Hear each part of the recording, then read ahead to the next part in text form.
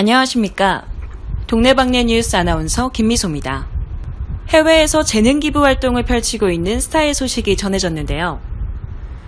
그룹 슈퍼주니어 멤버이자 배우 최시원이 유니세프 한국위원회 특별대표 자격으로 기조연설에 나섰습니다. 최시원은 지난 6일 브루나이에서 개최된 제5회 아세안 어린이 포럼 개회식에 기조연설자로 참석해 어린이 인권 신장을 위한 관심을 호소했는데요.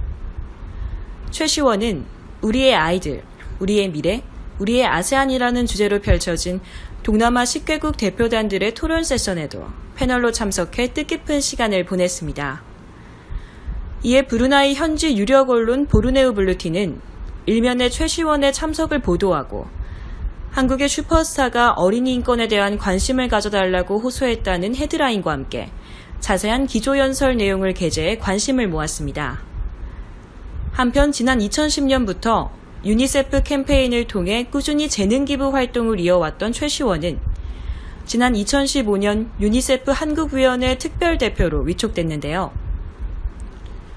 최시원은 지난 8월 1일부터 오는 9일까지 태국, 브루나이, 말레이시아 3개국에서 이루어지는 다양한 활동에 참여하며 유니세프 특별대표로서 활약을 하고 있습니다. 8일에는 말레이시아를 방문해 유니세프가 주관하는 청소년 학생 대표단, 현지 국회의원, 심리학자 등이 참가하는 포럼 뉴스토크에 패널로 참여했습니다. 지금까지 아나운서 김미소였습니다. 시청해주셔서 고맙습니다.